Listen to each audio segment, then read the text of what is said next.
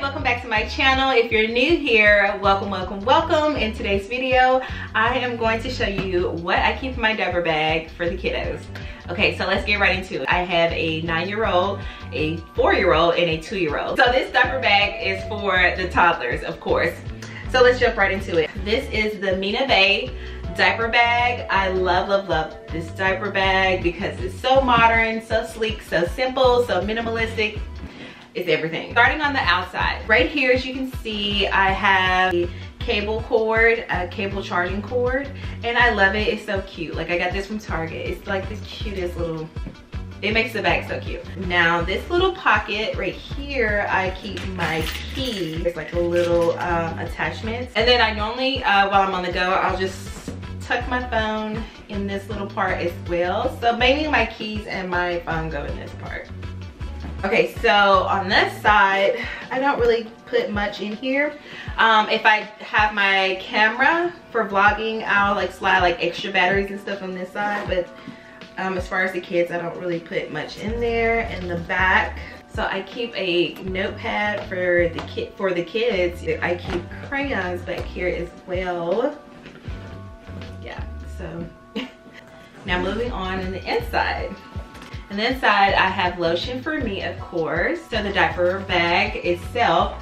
I love this diaper bag, got it from Amazon. It's so easy, like you can leave the bag and just go in and change. But you can like turn it like this or you can make it into a clutch. You know, just hang it right here. And there you go, you have like a little cute clutch. And this portion is refillable, the front part. It's refillable. You just add your diapers inside. Um, so diapers in here and then on this side they have a divider. You have just a plastic part. You can take this in and out. Like you can literally take this out and refill it. So I love that. I need to refill it by the way. So then you just slide that back in there. And then I just have her pull-ups because we are potty training.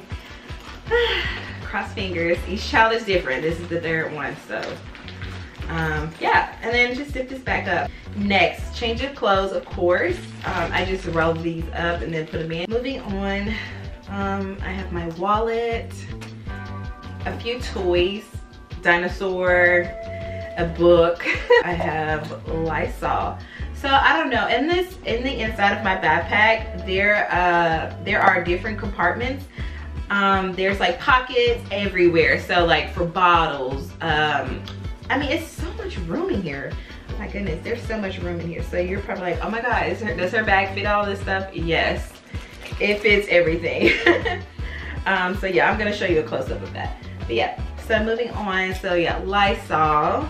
I have a pocket for this. Lysol um, Band-Aids like this. I think I got it from Old Navy. Yeah, it's just a little cute to-go Band-Aid set. I love it. Some hand sanitizer. So I just keep juices inside my bag. Applesauce, the Made Good granola bars.